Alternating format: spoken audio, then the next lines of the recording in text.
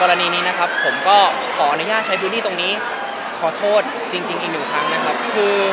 เรื่องราวเป็นเรื่องราวตั้งแต่สมัยผมตอนที่ผมเรียนมัธยมต้น แล้วก็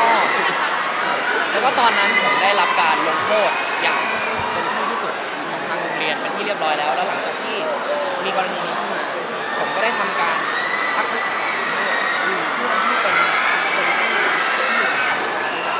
รอบหนึ่ง คนที่ถูกกระทำใช่ไหมพี่เขาเรียกว่ายังไงบ้าง เขาก็อ่านครับผม แต่เขาไม่ได้ตอบเรา ใช่ อืมณตอนนั้นที่มัน เกิดเรื่องขึ้นมาเลยนะเออเราเรามองกระบวนเหตุการณ์ย้อนกลับไปมองแล้มันมองว่าเกิดจากสาเหตุอะไรแล้วถึงถึงมาเกิดเรื่องณตอนนี้คือจริงๆอะครับตอนนั้นด้วยความที่ผมกับกลุ่มเพื่อนๆก็มีความพูดกันแล้วก็เหมือนเหมือนเหมือนเล่นกันครับผมจนบางอย่างกันเลยเถิดจนทำให้เพื่อนมีบาดแผลในจิตใจหรือว่าทำให้เพื่อนได้รับผลกระทบหรือรู้สึกไม่ดี ซึ่งหลังจากที่ เรื่องราวทั้งหมดมันเกิดขึ้นก็ตอนตอนสมัยเด็กอะครับ แล้วผมก็โดนทำการลงโทษเป็นที่เรียบร้อยเออพอหลังจากที่ทำการลงโทษผมก็ได้มีการทำการขอโทษเพื่อนต่อหน้าหรือแม้กระทั่งโดนลงโทษจากคุณครูรวมถึงกลุ่มเพื่อนๆที่ที่ที่เล่นด้วยกันนะครับ แล้วก็มีการที่ผู้ปกครองของผมโทรไปขอโทษผู้ปกครองของฝั่งเพื่อนด้วย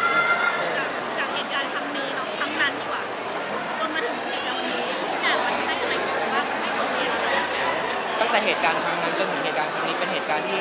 ผมจำไม่ลืมคือเป็นจริงๆก็เป็นบาดแผลในจิตใจผมเหมือนกันที่ผมมีความละอายผมละอายใจตัวเองที่ผมทำอะไรแบบนั้นลงไปตั้งแต่สมัยนั้น จนจนมาถึงวันนี้พอเรื่องราวมันเกิดขึ้นมาอีกผมก็ผมก็ต้องขอโทษอีกทีนึงจริงๆจากใจจริงๆครับที่ที่เรื่องราวในอดีตมันสร้างบาดแผลให้กับเพื่อน รวมถึงสิ่งที่ผมได้เรียนรู้จากเรื่องราวครั้งนี้ผมได้เรียนรู้ถึง ไม่ว่าจะเป็นใครไม่ว่าจะเป็นเพื่อน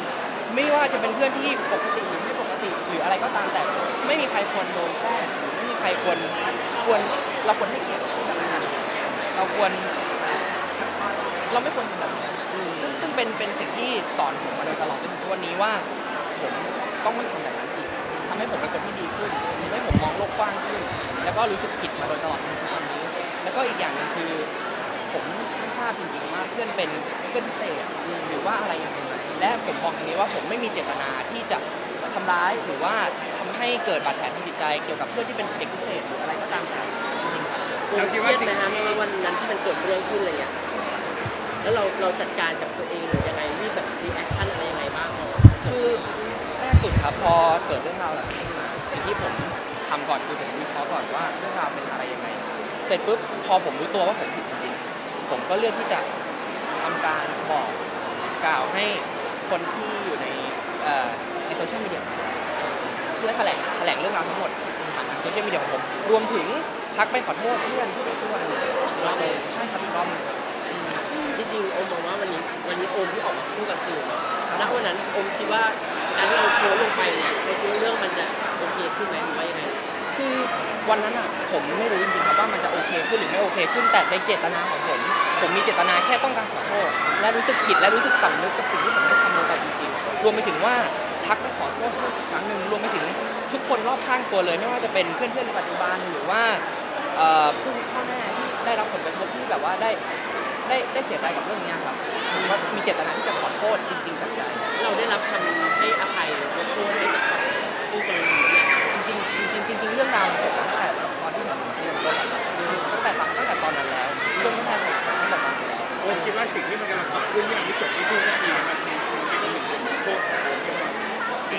ผมถือว่ามันเป็นบทลงโทษที่ยิ่งใหญ่มากๆสำหรับผมนะครับตลอดเวลา 4 เดือนที่ผ่านมา ผมไม่ได้นิ่งนอนใจ ผมไม่ได้อยู่เฉยๆผมผมรู้สึกผิดและรู้สึกละอายใจแก่ตัวเองในทุกๆวันที่ผมต้องต้องต้องต้องตื่นขึ้นมา ผมรู้สึกว่าถ้าผมพูดตรงๆถ้าผมย้อนเวลาไปได้ผมไม่ทำแบบนี้จนจนถึงวันนี้ก็ผมย้อนกลับไปแก้อยู่แล้วผมได้แต่ทำปัจจุบัน และอนาคตให้มันดีส่ขึ้งนผลต่อสุขภาพจิตไหมครับก็นิดนึง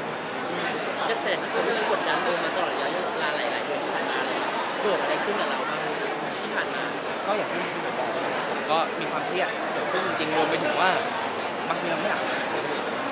ใช่แต่ว่าแต่ว่าสิ่งที่สอนผมและรีมายผม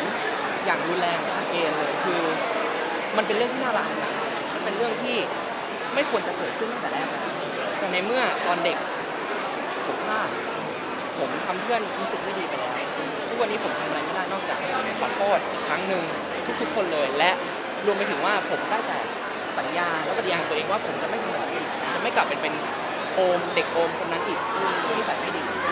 จากเรื่องราวที่มันกลายเป็นเรื่องของโอมกับเพื่อนในโรงเรียนสมัยก่อนมันกลายเป็นเรื่องที่ส่งผลกระทบต่อสังคมวงกว้างอะไรเงี้ยโอมคาดหวังยังไงบ้างกับการที่โอมออกมาพูดวันนี้แล้วมาขอโทษแล้วอะไรเงี้ยโอมคาดหวังอยากให้ทุกคนให้โอกาสหรืออยากให้เขามองเราอีกมุมหนึ่งยังไงบ้าง ผมขอบอกตรงนี้แล้วกันว่าอีกรอบหนึ่งผมขอโทษอีกทีอีกครั้งหนึงครับและทุกคนไม่ต้องรีบให้อภัยไม่ต้องรีบให้อภัยผมก็ได้ ผมจริง ๆ สิ่งที่ผมเจอ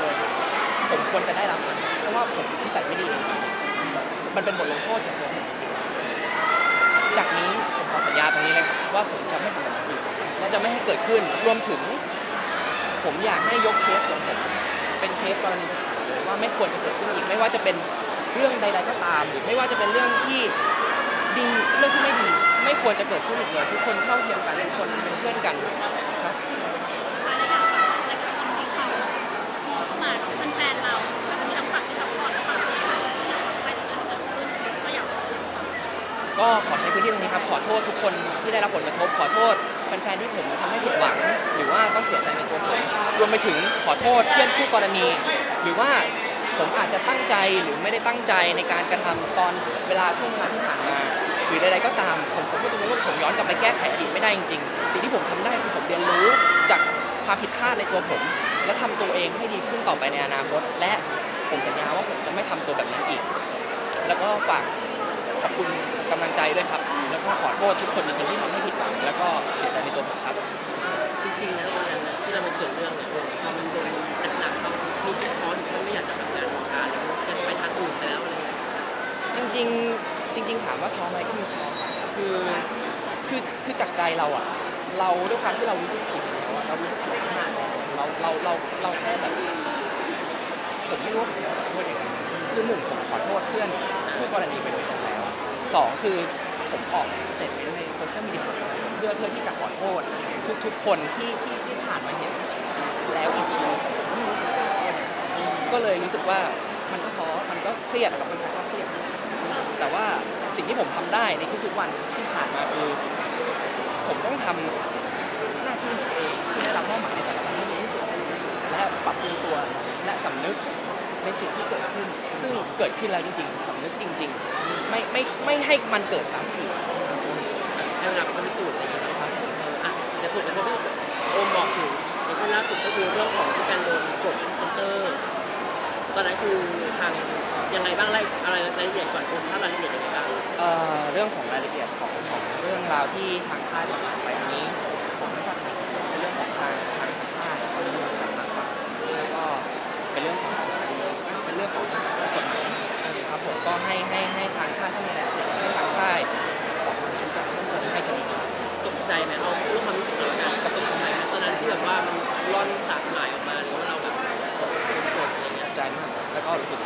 กิดขึ้นว่าในเรื่องของดีเทลรายละเอียดเรื่องทุกอย่างขอให้ทางค่ายจัดการใช่ครับทางค่ายเป็นคนดำเนินการตัวเราเองเขาเรียกว่าตกใจหรือเสียใจกับสิ่งที่มันเกิดขึ้นมันเราก็ไม่รู้ว่ามันจะมาเวนี้ได้ยังไงก็อย่างที่บอกครับหนึ่งเลยคือละอายใจละอายใจมากๆจริง ๆ และเสียใจกับสิ่งที่เกิดขึ้น ถ้าย้อนไปได้ผมผมคงเสียใจมากๆ ถ้าผมรู้ว่าสิ่งที่ผมได้ทำไปตอนสมัยผมเรียน มันทำให้เป็นบาดแผล ที่อยู่ฝังลึกจิตใจของเพื่อนมาจนถึงทุกวันนี้ผมผมคงผมคงยอมไม่ได้ก็เสียใจมาจนถึงทุกวันนี้ และและและเรียนรู้ในตลอดเวลาที่ผ่านมาครับจริง ๆ จริง ๆ แล้วอะหลังจากที่เอ่อตอนตอนมอต้นนะครับที่ที่จบเรื่องโดนลงโทษผู้ปกครองผมได้โทรไปขอโทษหรือผมจะโดนฟาดโดนไม้เรียวอะไรอย่างเงี้ยจริง ๆ ตอนนั้นมันหนักมากสำหรับผมเพราะว่าเรานึกภาพมันเหมือนมันเหมือนขั้นสุดของของ โรงเรียนแล้วอะแล้วผมก็ไม่เคยคิดเหมือนกันว่าผมจะต้องโดนจนกระทั่งเห็นพ่อแม่ผมรู้สึกแย่มากๆกับสิ่งที่เกิดขึ้นก็ปฏิญาณแต่ตอนนั้นแหละว่าผมจะดีขึ้นดีขึ้นพยายามให้ตัวเองดีขึ้นทุกวันจะไม่ทำให้พ่อแม่เสียใจอีกหรือแม้กระทั่งเพื่อนหรือคนรอบตัวที่ที่ที่เราให้เขาเจตนาทำให้เขามีบาดแผลแต่บางทีผมก็อาจจะไม่ได้ตั้งใจ ไม่ว่าจะเป็นกายวาจาหรือจิตใจยังไงผมก็ต้องขอโทษไว้นะ ตรงนี้ จริง ๆ ครับ สุดท้ายมาตรการที่หลายคนเขาจะพูดถึงเรื่องก็คือของต้นสังกัดเราอะไรเงี้ยนะครับค่ายผู้ใหญ่จริงๆแล้วมีการเรียกเราไปตักเตือนหรือว่ากล่าวหรือสอบถามสอบสวนเรายังไงบ้างโอมเพราะว่าจะคนมองว่าทางค่ายเหมือนอิกนอไม่มีนักการการเมืองที่โกงอะไรอย่างเงี้ยจริง ๆ แล้วครับเรื่องนี้ทางค่ายไม่เคยนิ่งเฉยเลยตั้งแต่วันแรกที่เกิดเรื่องผู้ใหญ่ทางผู้ใหญ่เรียกผมเข้าไปคุย เข้าไปสอบถามเรื่องราวทั้งหมด แล้วก็เข้าใจว่าเป็นเรื่องราวที่เกิดขึ้นที่ผ่านมาแล้ว และผมได้รับการลงโทษทุกอย่าง และถือให้ผมถือว่าเป็นบทเรียนรวมถึงผมโดนตำหนิโดนสั่งสอนโดนว่าเก่าขัดเกลือนอบรมว่ามันเป็นสิ่งที่ไม่ดีจริงๆทั้งหมดทั้งมวลใดๆก็ตาม เพื่อเพื่อย้ำเตือนผมอีกหนึ่งครั้งครับผมคือไม่มีใครนิ่งนอนใจรับเรื่องนี้รวมถึงค่ายและรวมถึงตัวผมเองนะแต่ครอบครัวของเรโอเคเนาะขอบคุณนะคะ